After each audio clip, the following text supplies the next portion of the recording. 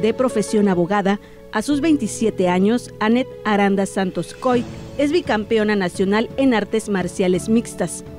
A su corta edad, esta acapulqueña domina al menos cinco disciplinas deportivas que requieren mucha práctica, concentración y tiempo. Incursioné en las artes marciales a la edad de 12 años. Eh, empezamos con lo que fueron las disciplinas de Kung Fu eh, y continuamos practicando sin abandonar las demás disciplinas, lo que es el boxeo, el muay thai, el kickboxing, y fue así como eh, también poco a poco empezamos con el acondicionamiento físico. A pesar de su edad, ha logrado importantes reconocimientos en todas las disciplinas que domina.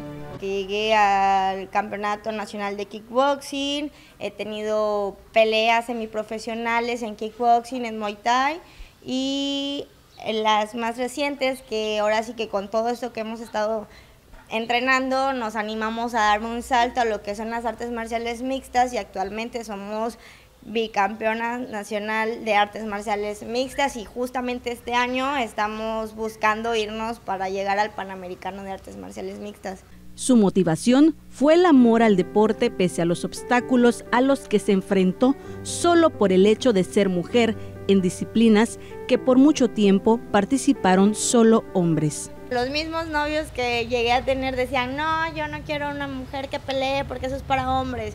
La misma familia, abuelos que tienen pues ahora sí que otro tipo de, pensamientos, no, es que, que si eres, ¿qué eres? ¿Por qué eres niño o por qué peleas? Para Annette, es importante dejar un legado de ejemplo y perseverancia en las mujeres, sobre todo en las niñas. Por ello, al menos una vez al mes imparte clases gratuitas masivas de defensa personal dirigido a mujeres.